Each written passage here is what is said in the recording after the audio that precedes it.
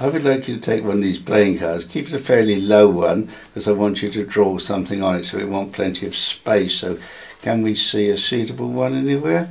Oh, well, that's quite a good one, isn't it? Good. Lay it on the table. Would you take the pen and draw a beautiful mouse on there? Well, that looks a very beautiful mouse, that really does. Yes, would you sign your name on it? And put the cap on the pen. Uh, will you pick it up and show it to the camera? Okay, poke it back any, anywhere you like in the end of the pack. That's it, lovely. Would you would you like to mix those all up yourself? Give them a nice shuffle.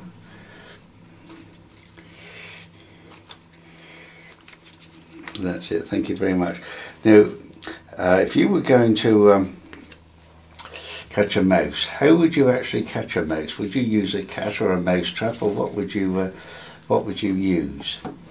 Oh well, I'll tell you. Probably use a mouse trap, and I've got one here that we shall attempt to set up without catching my finger on it. Here we are, looks a bit scary doesn't it? Now we're now going to see if the mouse trap, let's cut it back a few more, here we are, see if we can catch your mouse. Well it's not that one is it? No. And uh, doesn't appear to be that one. Um, doesn't appear to be that one. Oh if it's not right at the bottom. Doesn't appear to be that one. Doesn't appear to be that one. Doesn't appear to be... Ah! And let's have a look.